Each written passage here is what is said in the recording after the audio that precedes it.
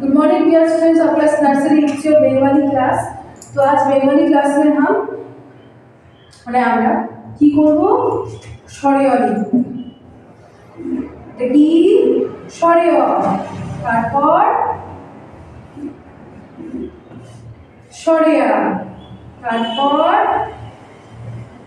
রস্যই তারপর দীর্ঘই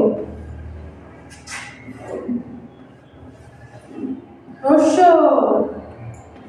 তারপর দীর্ঘ। ঠিক আছে?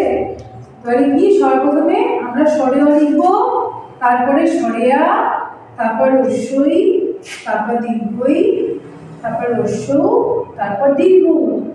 ঠিক আছে? তাহলে তোমাদেরকে এইভাবেই লিখতে হবে। যখন এইভাবে দেওয়া থাকবে, তখন তোমাদের লিখতে হবে। সর্বপ্রথমে কি আছে? স্বরে অর্থ লিখবে। স্বরে অর্থ দেখে দেখে লিখতে হবে।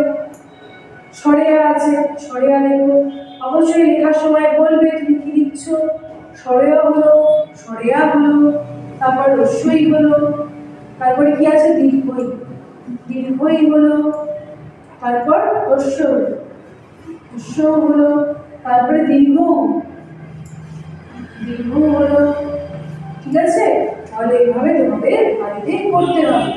আর প্রত্যেকটি শব্দ দিয়ে যে প্রত্যেকটি স্বরবর্ণ দিয়ে যেভাবে শব্দ শেখানো হয়েছে, ওইভাবে বলতে হবে। যেমন স্বরে অর্ধে কি হয়? একটু পজ যেমন অজগর, স্বরে হাতে আম, তাহলে স্বরে হাতে অজগর, স্বরে হাতে আম, রসইতে ইঁদুর, দীর্ঘইতে ইগল। দীর্ঘতে উষা ঠিক আছে? তাহলে এইভাবে একটি করে শব্দ তোমরা বাড়িতে পড়বে। Thank you